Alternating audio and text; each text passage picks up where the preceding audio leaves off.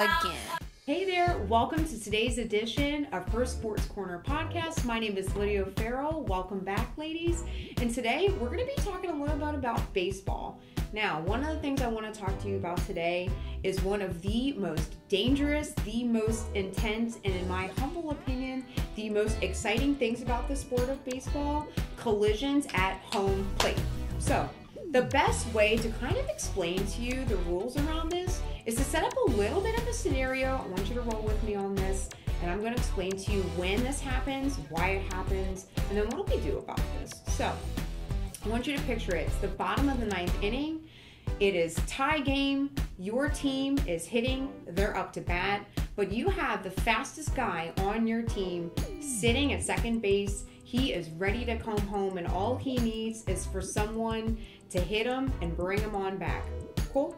The next person you have in your lineup just happens to be none other than Mike Trout, one of the best bats in the whole major leagues. Lucky you, congratulations. And as Mike Trout does, he lines a ball straight into the space in center field. Now, remember, you have the fastest guy on your team who now has seen this and he is rip rearing around those bases, making his way home. Okay, while this is happening, unfortunately for your team, the center fielder has just woken up. He has retrieved this ball that has fallen into the outfield, and he happens to have one of the best arms in the major league and is hurling that ball at his catcher as fast as he possibly can to prevent your guy from scoring. All right.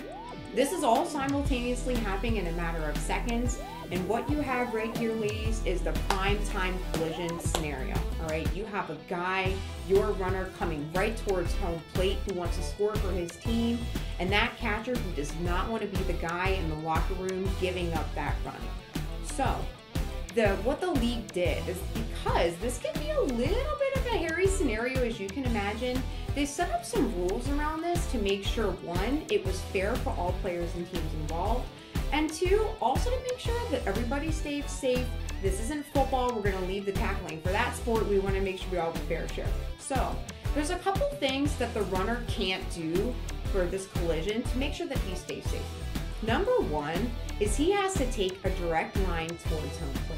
Now, if this were someone like me, I'd be trying to zigzag down that baseline, throw the catcher off a little bit, see if I can get behind him. Unfortunately, not allowed. The MLB has realized this is not a good thing to do. He's got to make a direct line for that home plate. That's got to be his main mission.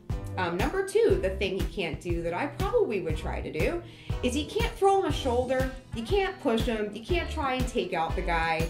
The catcher's got to have a fair shot as far as making sure he can come back at you a little bit. So again, that runner's main mission is he wants to hit that home plate and score.